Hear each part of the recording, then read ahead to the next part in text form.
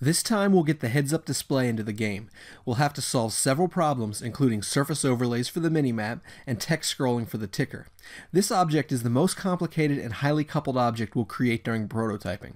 A better design would probably split this up into several child objects. I expect to go through several debug passes to get this right.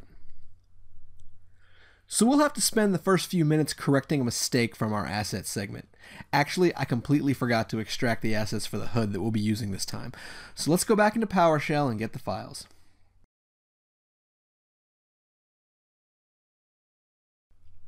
We'll need three of these files. I'll rename them to avoid collisions after I change the extensions to bitmap.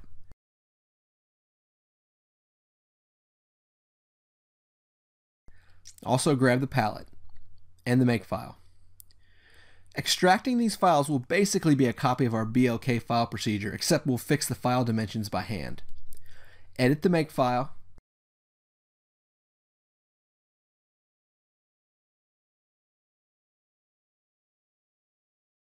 Create a new source file.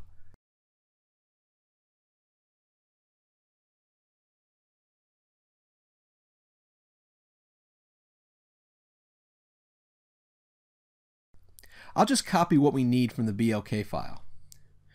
Drag everything down to main. I'll grab all the declarations too. We'll need to open the data file and the palette file. I want these file metrics, but not like this. Instead, I'll set them based on the file name. I already went through and calculated what we need, so please press the I believe button on this part.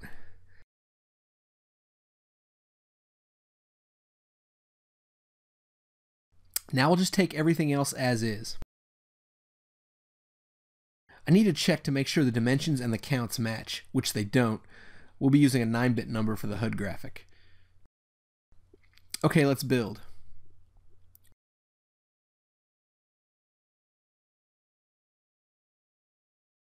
Looks like it worked. Now let's check the graphics. Looks good. Now let's bring them in the GameMaker.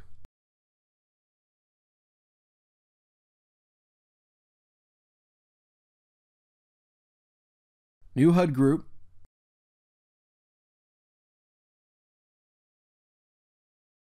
Drag them in.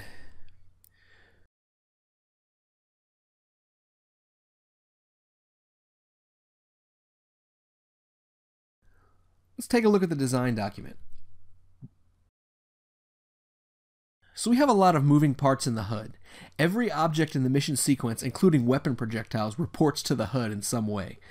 The number of objects and interactions almost guarantees that we're going to have a few mistakes here. Our goal this time is to just get everything functioning.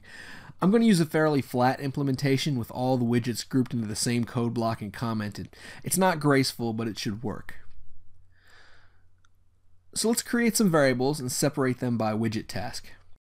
Some high-level fading, We'll be using a GameMaker abstraction called the GUI, which is different from our use of the view. The GUI positions use absolute screen positions and have no relation to the room at all. The problem is that since we're scaling everything, including the sprites, we need to calculate our scaling factors and then the absolute window positions related to the bottom, which is where the HUD will be. Now we'll get weapon data from the player. Now for the direction finder widget, we'll create eight buckets that hold a particular color.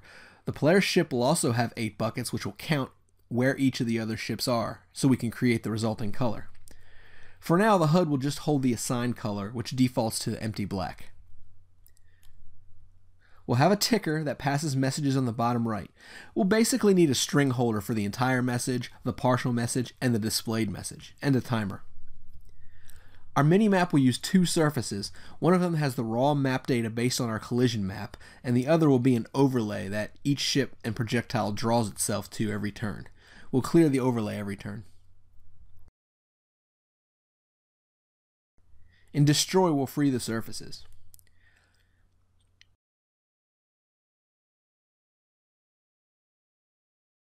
In Room Start, we'll set all the references so you can appreciate the level of coupling we have to deal with here.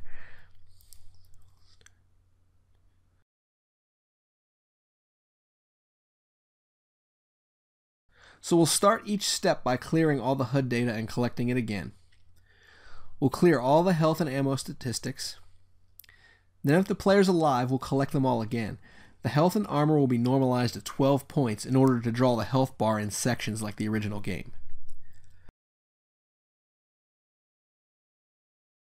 Now we'll update the targets box. I'll have to reference the player's target box to access the count that we'll use in the color calculation. We'll just have to make this work in the ship object after we resolve it. We're going to add the intensity of the red color for each ship in the particular sector. We'll have the headquarters object add to the blue color. I'll make it peak out after roughly 4 ships. We don't want to go over 255 for a color intensity. If there's no ships in a sector, we'll default to black. Let's go to the ship object and resolve this link. I'll start by bringing in the HUD reference.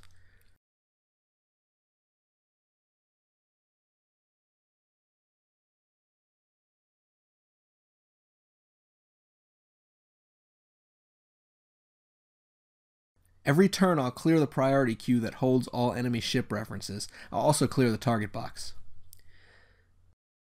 Now I want to find all the ships and the headquarters object. Now here's a quick hack that'll do that. I'll loop through the number of ships, but since ship counting starts at zero, we'll have one extra loop, which I'll use to grab the headquarters object. Each ship will set a value to 1, and the headquarters will set the value to 32. Remember, we used a modulus of 32 to detect the headquarters in the HUD bucket.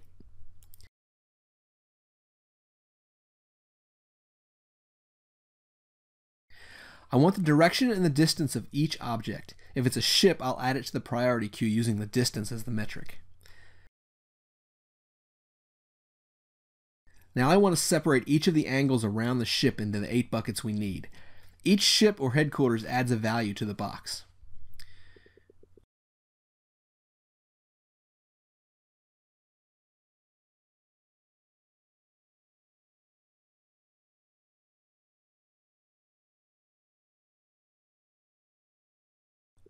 While I'm out here, I'll make sure the headquarters object has a reference to the HUD object.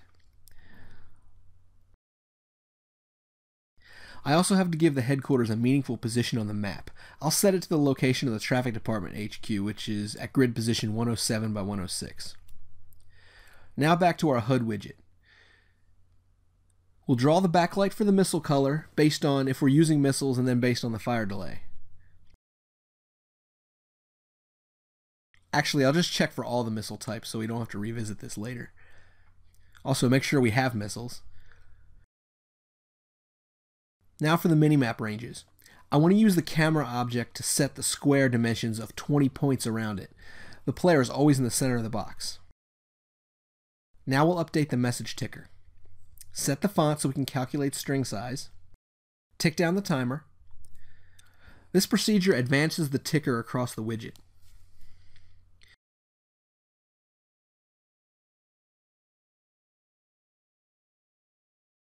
This procedure sets a new ticker message. We want it to be spaced off the right side of the screen initially so we can scroll it back.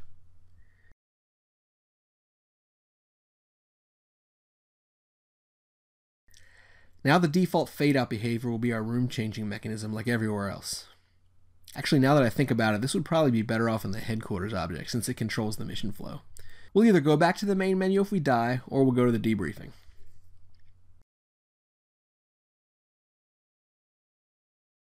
Now I want to edit the HUD sprite for how we'll use it. First I'll reset the origin to the bottom left since our HUD is bottom aligned. Then we'll get rid of the missile so we can backlight it. Then I'll paint out the direction finder in the statistics section.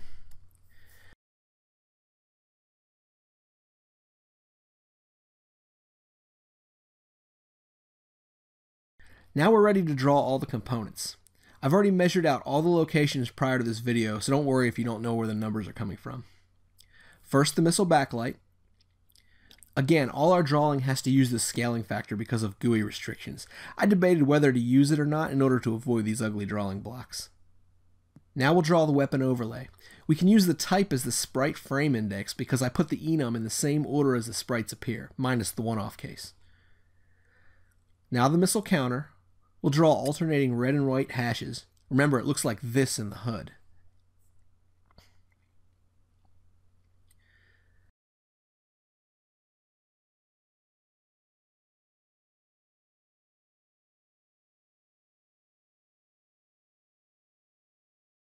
So these sprite bars could be complicated, so I'll just make a 4x4 sprite segment that we'll mask with color. We'll use 12 of them to fill up the bar.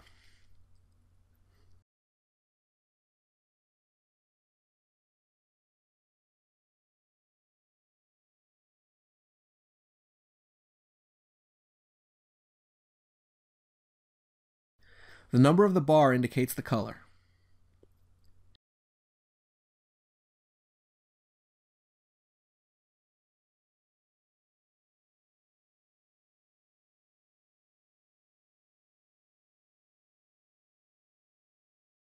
Now we'll draw the two layers of the minimap in the square. Remember the lower layer is the map and the upper layer holds all the ships and other points of interest.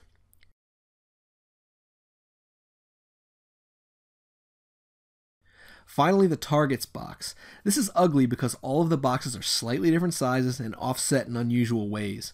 We'll just set the color of each box to some mix of red or blue that we calculated and then draw it in the position starting at 3 o'clock and going counterclockwise.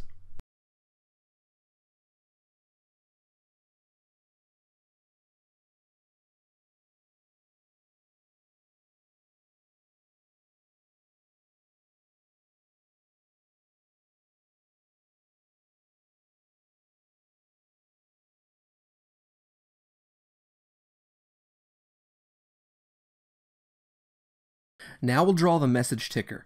We'll use the little font and include the shadow first.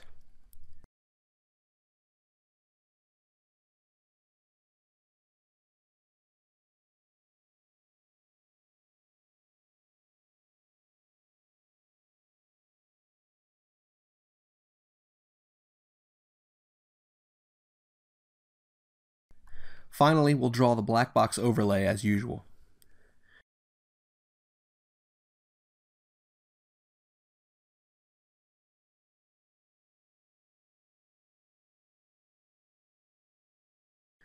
We'll use a new event called draw begin to build the minimaps. The lower layer will only be created once using that trigger variable called minimap create. We'll loop through the 201 by 201 grid. We'll draw open space in dark gray and collidable areas in light gray. In the original game, there's also a border to accentuate the collidable areas, but we'll, we'll add that to our tweak list for now. Instead of drawing a point or a single pixel, I'll try a different method of masking a 1 by one white pixel. There's no particular reason for this except I've had issues with off by 1 errors in certain drawing functions recently. Off by 1 when drawing a point tends to cause nothing to happen.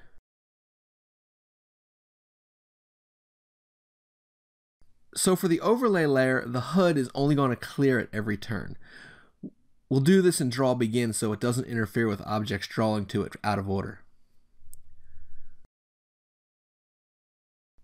In order to test the ticker, I'm going to add a test message on the mission start.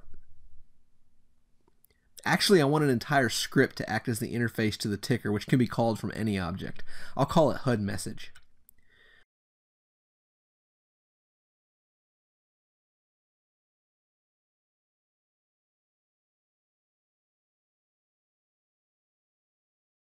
In the ship drawing event, I want to draw the colored pointer that shows us the nearest goal.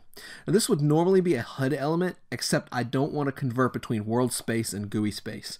The information for the pointer comes from the data structure in the ship anyway. For now, we'll just go for the nearest ship.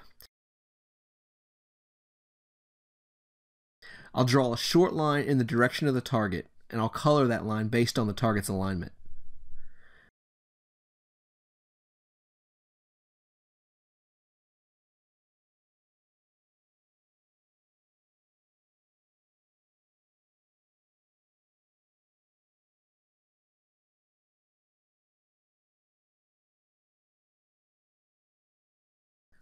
Now we'll have ships draw their point on the minimap.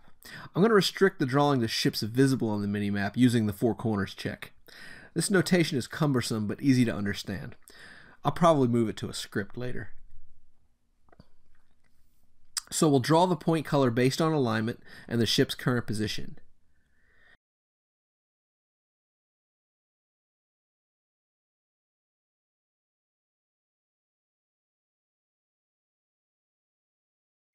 Now we're going to try to copy this whole thing and move it to the object fire draw event 2 so projectiles appear on the minimap. We'll draw them in white. Finally, I want to check the camera to make sure I have that reference in there for the map position variable. I used it in the HUD step event, but I'm not sure I actually had a variable declared for it.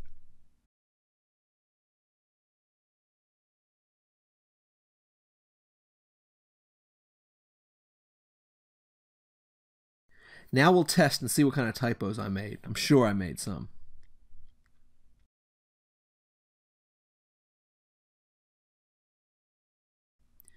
Of course, it was in that long statement I said wouldn't work out.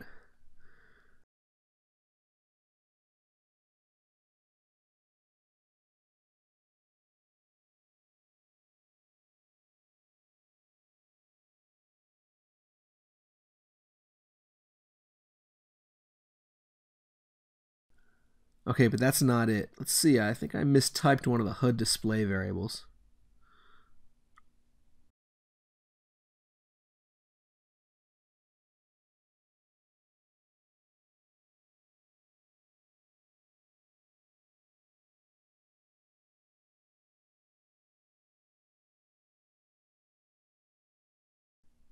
Okay, we're running, but it's ugly. It crashed right when I tried to fire the guns. It looks like I forgot to add the HUD reference to the fire object. But let's look at everything else. I apparently forgot to break the weapon sprite up into multiple frames. That one hurts. Alright, there's a problem with the pointer around the ship. It looks like the direction finder has invalid colors everywhere except the first location. Hmm, looks like there's one ship there because it's not quite black. The ticker might have been working, and the ships were displaying on the HUD except they all look like a neutral ship. That might be right because I don't think I ever set any ship alignments except the default. Okay, let's take care of some of these. We'll fix the crash bug by closing the reference. The other issue is the bad sprite strip. The weapon one has 6 frames and the comlink has 5. Let's bring those back in correctly.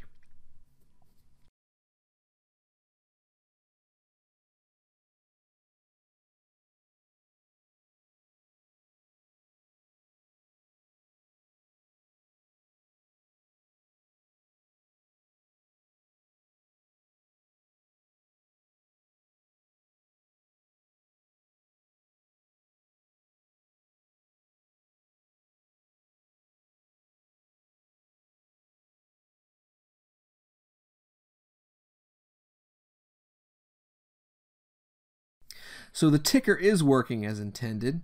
Notice the direction finder appears to be working for the first slot too. I can see gunfire on the mini-map. I can change weapons too and the sprite matches. The missile counter and backlight both work.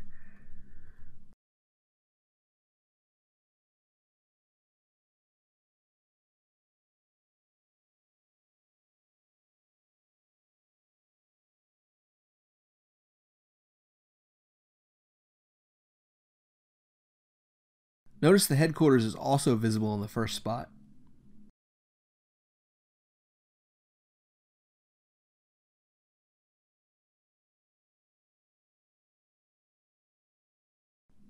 Okay, let's fix the direction finder. So the first one works.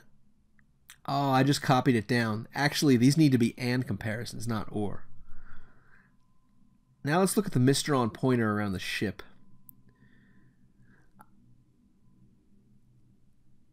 I forgot to make all the right changes after I copied and pasted.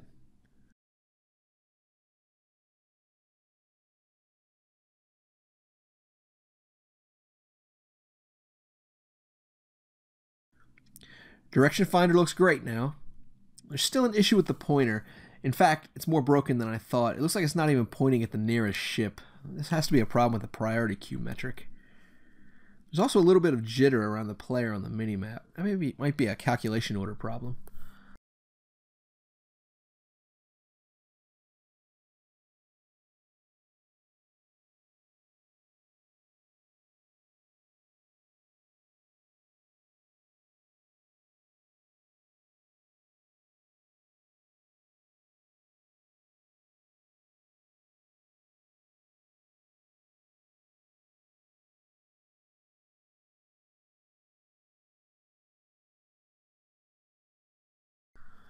Let's give the ship some alignments. I'll use that polymorphic code block that I put in room start. Actually, we've been having some execution order issues lately, so I'm not going to rely on room start to execute things in the sequence. Instead, I'm going to make this a user-defined event and call it explicitly on ship create.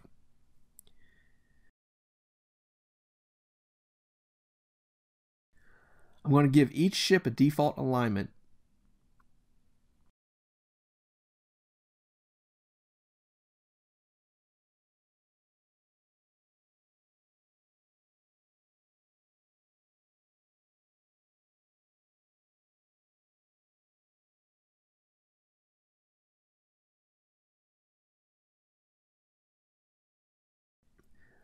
Now the alignment is obvious on the minimap. Pointer's still broken. It's not pointing at the nearest ship.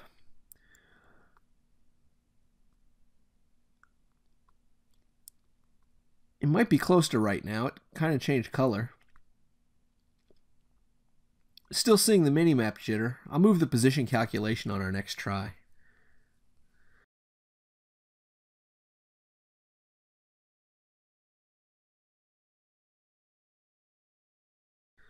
So I'll move the ship position to the end step. I'm just guessing on this, it might not work.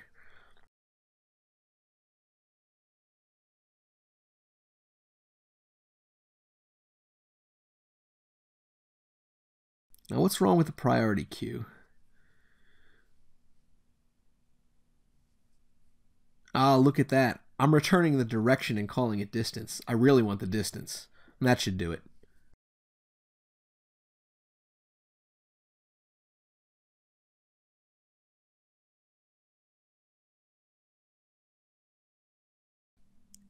I think we're close to what we want from the HUD. Like I said before, I don't think this is an excellent design. There should probably be a well-defined interface between the objects in the HUD. Also, the code should be split up between different widgets. Each widget probably deserves its own dedicated object. Next time we'll try to get the AI to actually fight back. We might even fix the balance issue so that we can destroy ships too.